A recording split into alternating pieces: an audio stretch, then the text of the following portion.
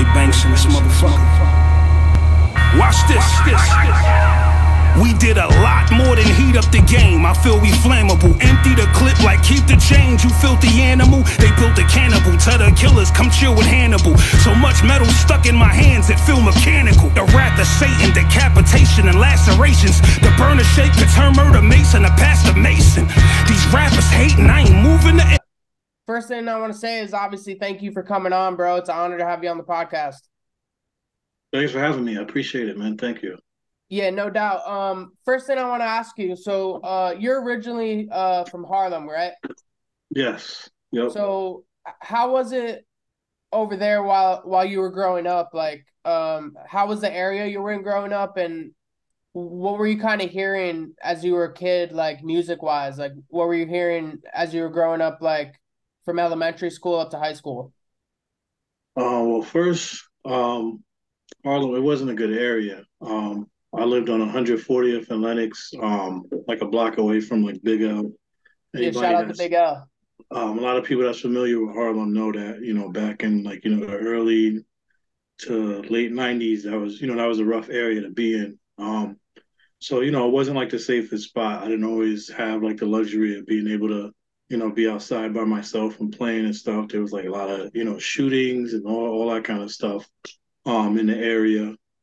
Um, but um, around that time, to be honest, I wasn't. I like I knew of hip hop and I listened when when I found time to, but I, I wasn't really allowed to listen to uh, hip hop mm-hmm. while I was younger. My mom she didn't really want me to listen to it because obviously you know like the subject matter. But you know, living in Harlem, I had uh, two older brothers that listened to it. You know, it, it got to my ears either way.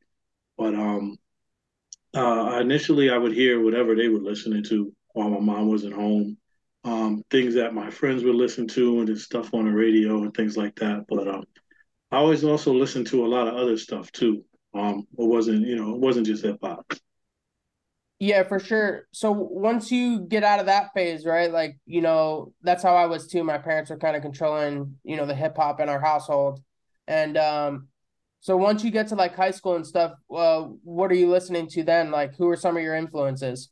Yeah, high school is different. Um, I listen to a lot of um like the the classic up north rappers like the LOX, Nas, um, Jay Z. But actually, I went to high school in Florida, um, so I actually listened to a lot of like you know down south artists too.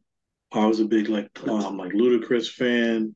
I even used to listen to like Lil Jon when they were on their run with the Lil Jon and the East Side Boyz. Um, and um, you know, there was that um, phase where kind of like everything down south started to take over, just hip hop in general in Atlanta. Um, so I was I listened to a lot, um, but um, when I actually kind of took it upon my own to listen to hip hop, and my mom, you know, she wasn't as strict. Um, there was a lot of like Nas, like Ruff Ryders, like, and then it kind of transitioned more into um, as I was down south, it transitioned more into like people like Ludacris Jeezy, and then you know, and, and so forth. Yeah. So after so after that time, right? You, you're growing up. When when does it occur to you like when do you start messing around with you know getting involved in making music? Like when's the first time you you know like produced anything or even attempted to or even thought about it? So I actually had the program Fruity Loop since I was um I think I was like 14, 15. I kind of just had it. It was more like a, a app on a computer. I, I kind of considered a game. I would, you know, mess around with it here and there. But um, like my uh, my brother, like he rapped in like a talent show. Um, he actually rapped over his own beats. So we both kind of, you know, here and there we made beats, but you know, we weren't taking it like, you know, super serious as far as like trying to be professional or anything like that. We were still focused on um, basketball, but I guess I made my first few beats around it's like the time of 14, 15. And I took like a break uh, from it for a while. I didn't really get back into um, the actual creation part of music for a while. Like I said, because you know we were focused on um, you know basketball and things like that, playing all through high school and a, and a little bit in uh, college. So um, I would say fairly early, but I wasn't, you know, at the time that I first made my beats, I never would have imagined that, you know, I'd be uh, a producer. That would be, you know, one of my uh, alternative lifelong goals. Yeah, for sure. So so when was it? What year was it when you when you like locked in and you were like, okay, like this is I think I can do this? Um actually that was like 2011, 2012. Around like 2011 I got back um into making beats and um my friend who I was living with at the time, uh Corey, he was always telling me to um like you know put your stuff out there, let people hear it. Other people thought so too. Um so I would just put um I would just put stuff on. At the time it was like SoundCloud and things like that. And I actually started to get like um local artists and stuff reaching out, um, saying like, oh, like can we get your beats and you know, how do we go about getting beats? And at that time I wasn't even really putting them out, expecting yeah. like, you know, artists to reach out and want to use them. It was just um, you know, really for them to be heard. Um, and at that point I started to realize that, you know, I, I was like progressively getting better and that, you know, um, I had an ear and was able to match like you know sounds from different eras and things like that. So around then, that's when I started to um, you know take it take it seriously. Gave myself uh, you know a producer name, and uh, really didn't look back since 2012. I mean, between then and now, I had like a, a brief period um, where you know it was like a little bit slower.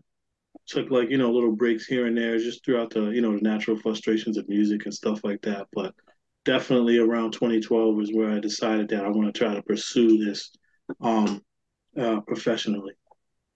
Yeah. Is there a certain moment in your mind, like, because if we just go through, let's just say this year, right? Obviously, you know, you're killing it right now. You you're on the Thank Lloyd you. Banks album. You and RJ Payne. You have the song with um with Dave East. You're on Jacquise's album, um, Heem's album is there a moment in your mind like what what what was the I made it moment of or maybe not even the I made it just like oh I think I can actually you know I can do this professionally. Um, it actually was back in 2012 because the second I started to take it seriously, I used um social media to get in touch with a lot of people. Um, the I think the first big artist I got in touch with at the time was uh like Driicky Graham as uh, the song Snapbacks and Tattoos was blowing up. Um, so I caught him right at this time, like that started like blowing up and went, and went like platinum. And I did some work. I had like two songs on um like his mixtape he did with DJ Ill Will. Mm-hmm. Um, and then from there, I kind of piggybacked off of that. I, I really just used Twitter to get in contact with people. I got people like in touch with artists like um, like Roscoe Dash. Uh, the producer Drumma Boy did a song with DJ Paul that I produced.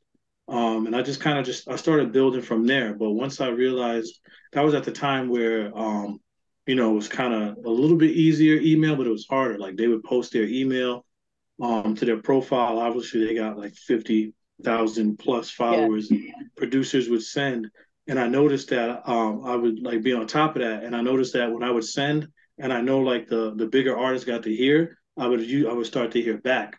So it was at that point that I knew that they were hearing something. Obviously, where they felt like you know the quality was up there. So at that point, I was just like, okay, so if I you know I keep progressing with this and um and just finding a way to get the contacts, and I could really make something of it.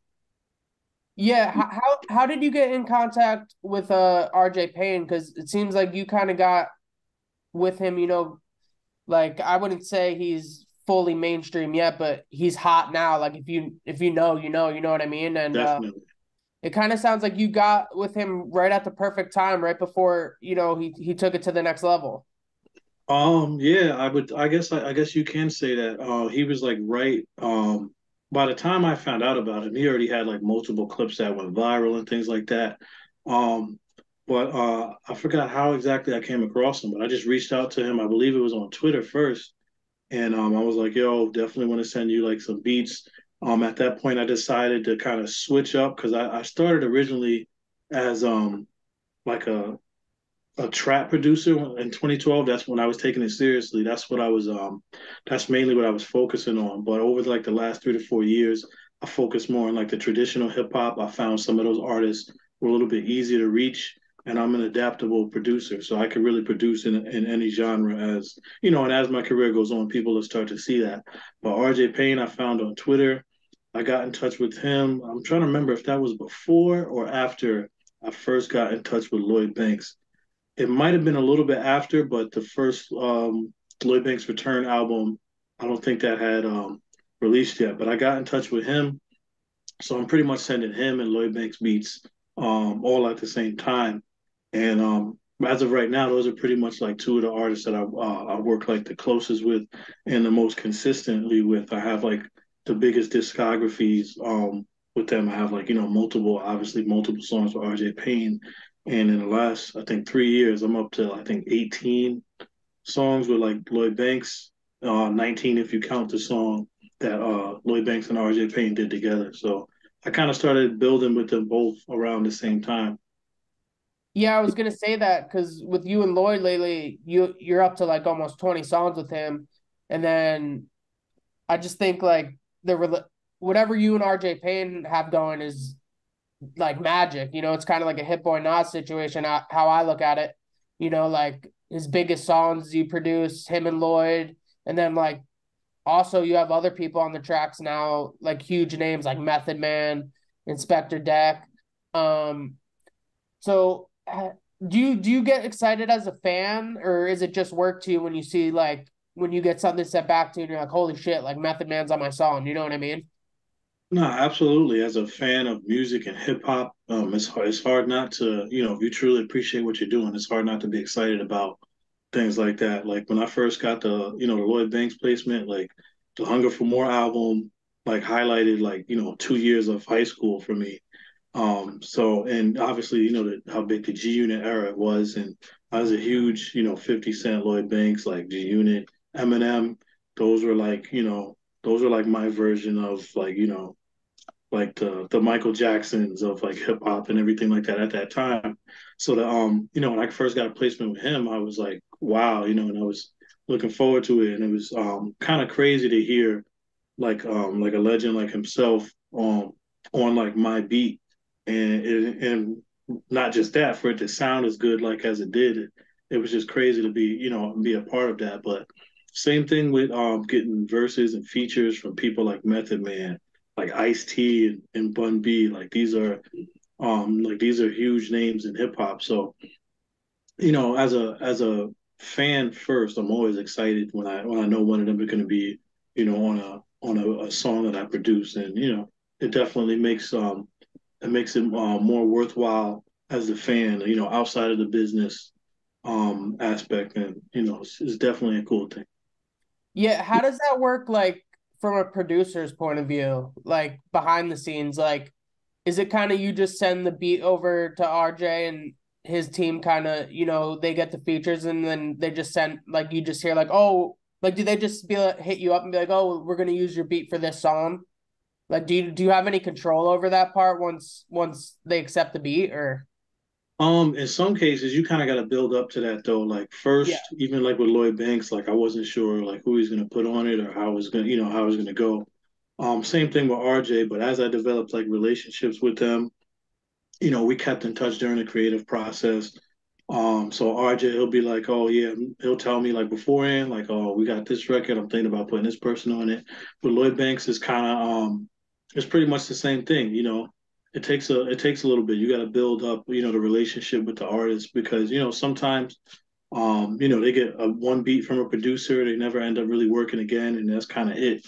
Luckily, I'm in the position where you know I'm getting like multiple with uh with with artists like that, so we have you know it, it allows the groundwork for us to be able to build working relationships that's also creative to where you know they're more open to to sharing, letting you know, saying, "Hey, how do you think this person might sound in it, or do you have anybody in mind? So I think that's also a cool part too, to um, you know, to be um in that in that creative process with the artist. Yeah, that must be dope from your perspective. Like, you know, just starting out by like sending them a beat, and then over time, like, like with Lloyd, like now you have almost twenty songs with him. Like, you guys must have a good relationship for him to keep going through. You know, um, yeah, that's got to be dope. Just like that, that being your job, and like you know how it is. Like when you're a hip hop fan, like like Lloyd Banks, especially in New York, like he's a fucking legend. You know what I mean? Yeah. like you, you know, you you grew up there.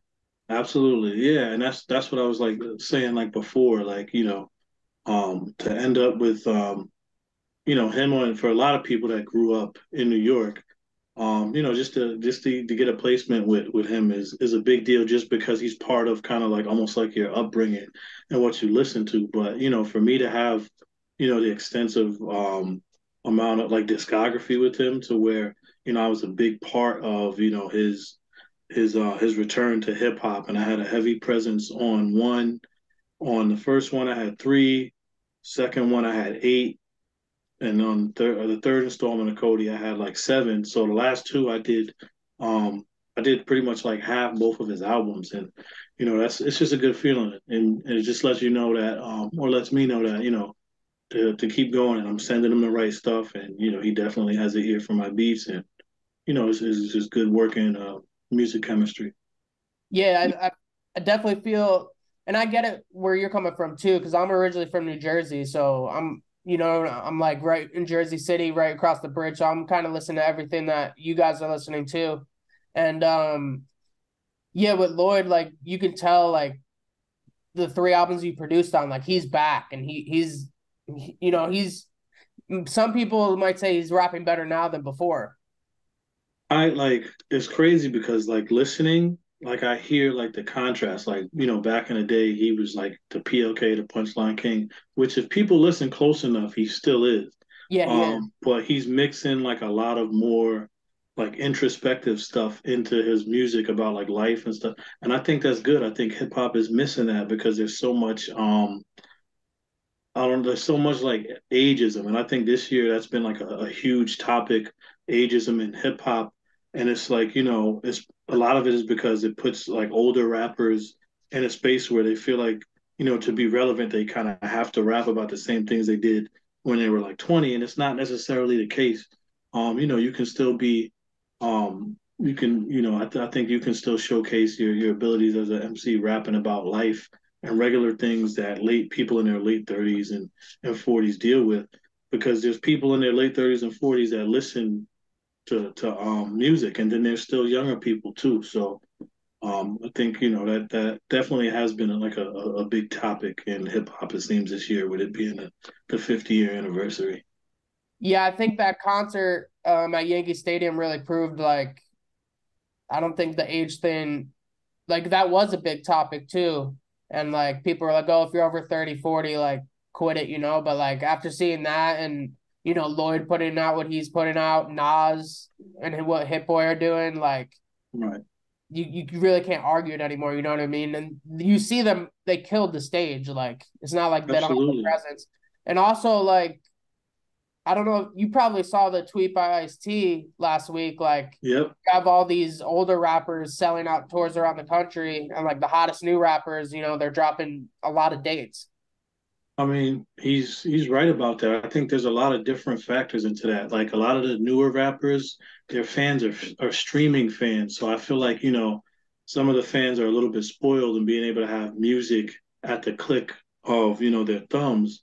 Whereas to like when, you know, I was like a kid, you had to go to the store, you had to buy a CD, and you kind of really grew. Like you had to commit to it. You know, you you didn't just listen to it one time and then like you know just slide over to the next uh, album on your iphone. You bought it you invested in it. So even if you didn't catch everything on the first listen you listened through till it grew on you. So the dedication was different. I remember like times where cds would sell out and people waiting online. So a lot of the artists that are you know doing their thing right now hip hop 50 they're from that era. So their fans are loyal. They're going to go to their shows. They're going to you know they're going to pay for like you know their music and it might not be in the masses and numbers that it is for like artists like Drake and Lil Baby, but you know they still have um they still have loyal fan bases, and I think that's a a beautiful thing for hip hop. I think you know some of the ageism does need to stop. I'd love to see more of the older legends collaborate with um the new people, and I think you know all it's only going to cause you know more exponential growth for hip hop as a whole and it does like you it there's uh you there's a way you can be competitive without you know trying to cut each other's heads off and and hindering like the growth of hip hop as a genre. Yeah, no, I completely agree with you. Um, next thing I wanted to ask you, um, who, who would you say, um, or some, let's say like five, like who who are your five like favorite producers personally? Oh man, this is this changes like so so much for me again because I listen to so many. Yeah, me too. But, um, if I'm going back with where around like the time that I really decided to take it serious, it was like 2012. I always say Southside and Lex Luger because I know they use like FL Studio and they really like they pioneered a lot. They, you know, they kind of uh, I know there's other producers that use that and started, but at least like to me, they were the, the two like most visible um artists at that time using that software, the computer right from your home, being able to make um beats. So um there's two um Timbaland, definitely one. Oh man, there's so many. Just to name five is tough. Um who did I say? I said Southside, Lex Luger, Timbaland. Let's see. Um, people like uh, I'd have to say like a like a, a four a four um four spot tie between like a, a, DJ Premier and like a Large Professor, like you know them, because they're they like you know they embodied like the the soul of like the um like traditional hip hop and things like that. Um, so I'm, I'm just trying to mix it up because I got I got a couple trap producers, I got um boom bap producers. Um I don't know. I got like I said, I got uh like people like Timbaland, Scott Storch. Like I, I listen to such a variety of music. Yeah, there's so many I, good ones to choose too. Yeah, and and the thing is, I don't like I like producers that like Timbaland is by far one of my favorites because like he's so far out of the box that you know, like his sound actually can't be recreated. Like, you know, yeah. he's he's one of the few producers to where like if I was like I'm gonna make a a, Timbaland type beat, you would have to it, yeah. you can't really like how would you do that? Because he's you know, he's so abstract.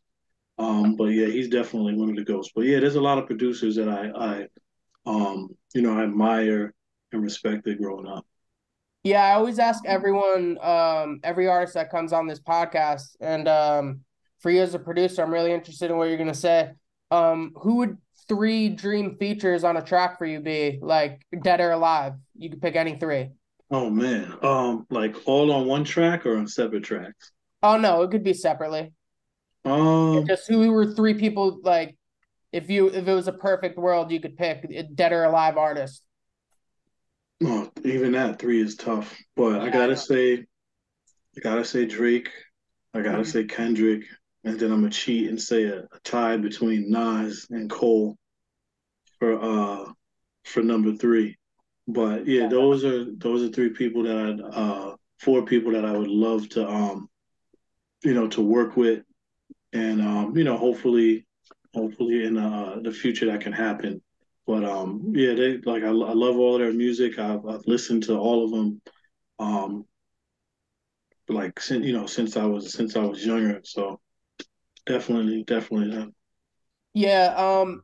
So for you being a producer, right? I, I hear this a lot with artists. Um. I'm wondering if it's the same for producers. Um. Has your ear changed since you went from being a fan to in the industry? Like, because I I can listen to music and like I still hear it just as the same if I was like ten years old. You know what I mean? Like it like you can hear all the other th- i know a lot of artists like say they have trouble you know listening to music like it's not the same. How is it for you?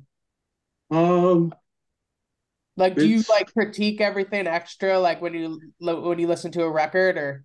I don't really critique it. Um i still listen the same but i will say i listen a little bit less because i find myself in particular creative like places. Like for example if i'm working on um, you know, finishing out a project with like Lloyd Banks.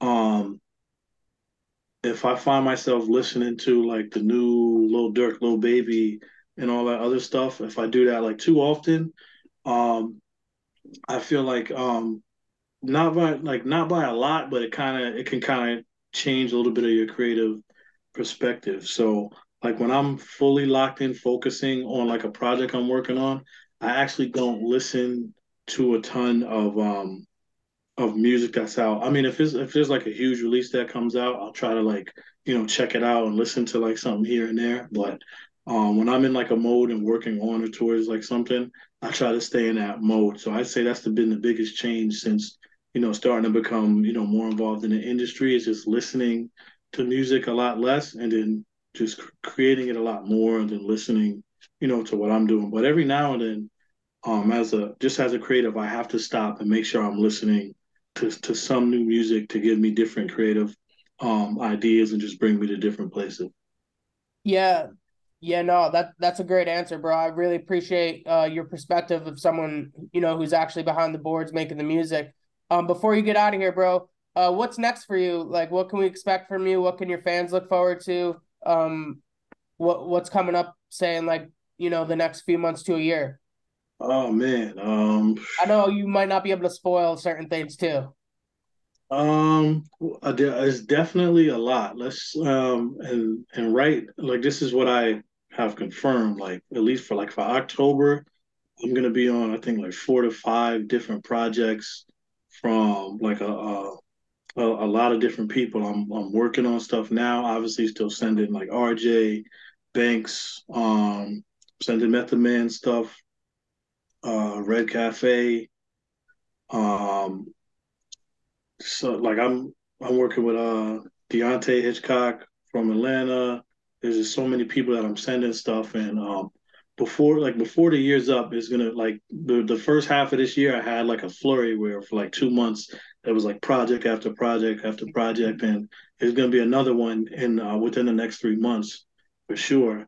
Um so it's, gonna be a lot of uh, definitely a lot of new music uh, to look forward to and it, and I don't think it's all going to be the, the same. It's not going to be what people expect either. It's not all the traditional hip hop and boom bap. So I'm probably most excited for people to hear, you know, my different kinds of production.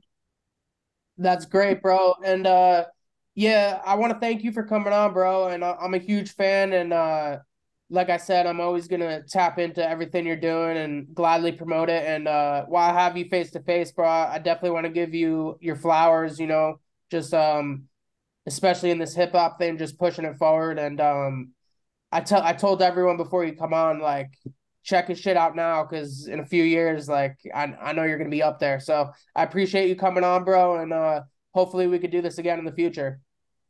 Hey, uh, definitely that we definitely can, and, and thanks again for having me. I appreciate it. Uh, you asked some some some good questions, and you know, looking forward to seeing you grow. Um, you know, you grow your platform as well. So I definitely appreciate it.